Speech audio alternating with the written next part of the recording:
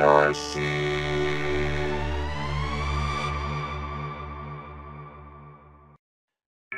Iconic, innovative, game changing. When it comes to this RC buggy, you won't fall short on flattering adjectives or superior performance.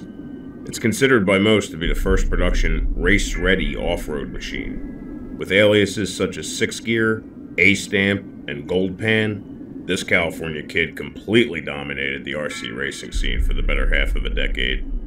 Today, Vintage Backyard RC is proud to bring you the world champion RC10.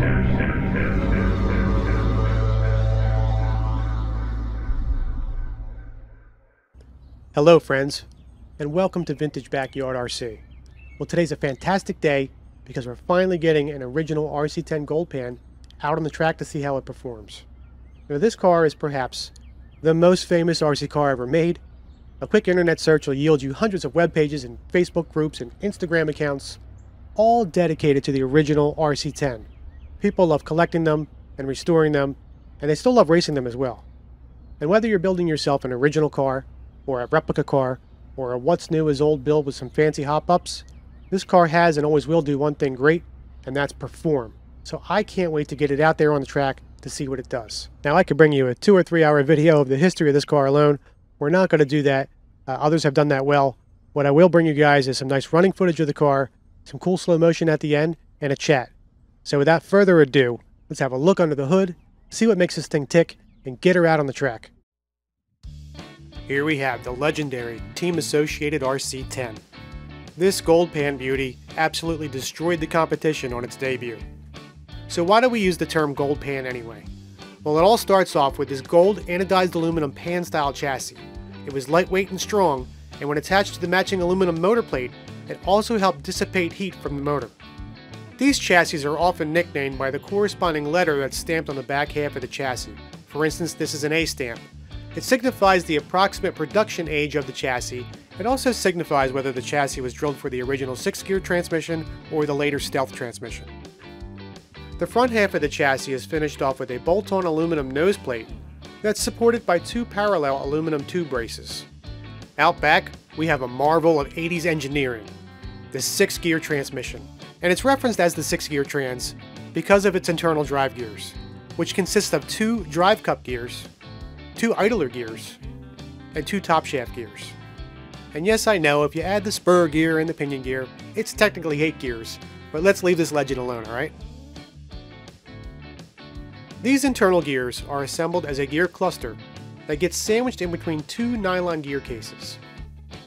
The differential action is pure genius, and uses an externally adjustable ball differential to synchronize with the top shaft and internal top gears. This allows fully independent operation of both the left and right side of the transmission. This harmonious syncopation between the internal and external gears gave this car superior corner rotation over its competitors of the day. Another thing Team Associated got right the first time was their extensive use of nylon for support pieces, such as A-arms, bulkheads, battery boxes, and mounts the nylon was much stronger than the toy grade plastic used by some of the cars back in the day, and much lighter than some of the metal bits used by its competitors. The buggy came with fiber front and rear shock towers that were mounted to heavy duty nylon bulkheads. Threaded adjustable turnbuckles were also included throughout the car.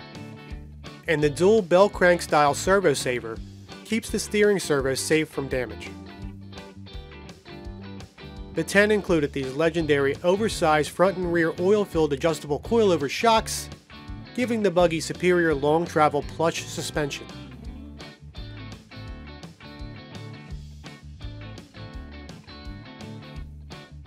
An optional adjustable front sway bar was also included with the kit. 1.6 rear knobby tires came with the car, and up front we had 1.9 ribbed front tires. The tires were mounted to these nifty three-piece nylon jelly bean style wheels. Aluminum rear mounted bulkhead tubes support this cool Lexan adjustable wing. And of course, the RC10 came with one of the most recognizable buggy bodies ever produced. Today we're using this amazing reproduction body made by Boki Racing. And here's our six gear runner that we're going to burn some laps with. Now this car is mostly all stock. I am going to run it with the kit tires as well, just to get a good baseline for the pro cars. So keep that in mind when we look at that lap time.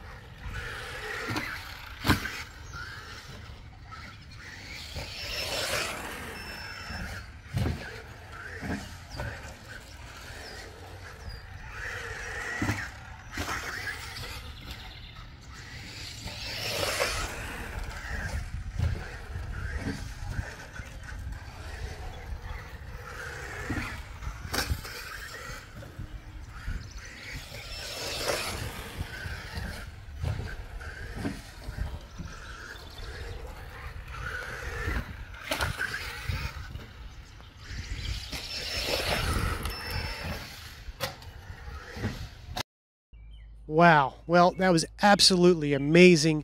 Uh, it's always better when the car is faster than the driver. Admittedly, I'm a little rusty, but we did put down a good lap. So without further ado, let's see what the RC10 Gold Pan did. The Gold Pan did it in.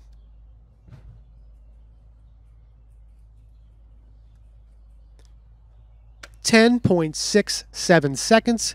Now I know that's slower than our other pro cars, but keep in mind, guys, this car is running the stock tires, the hard fronts, and the semi worn out rears. So that is a fantastic lap for stock tires. This car is a pro, and I love it. So let's hit the slow motion, let's have a chat, and let's have a chat down below. Stand by.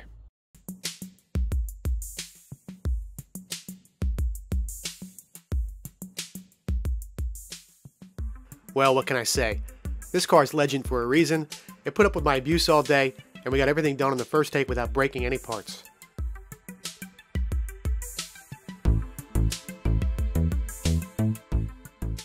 For me, that six gear sound reverberating through that aluminum chassis, it just gets to me. I love this car, and once you drive one, you don't want to stop.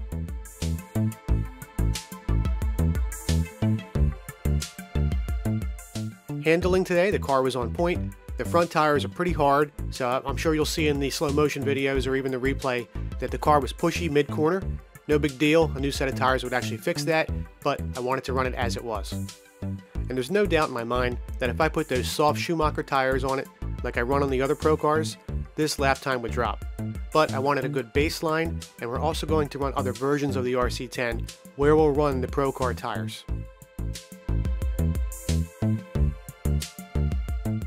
For me, my first contact with this car was my cousin got one in the mid 80s when they first came out, and I have a great memory of my uncle and my dad and my cousin and I sitting at their kitchen table putting this thing together. I instantly realized this was no Hornet. What a race car, and I love it.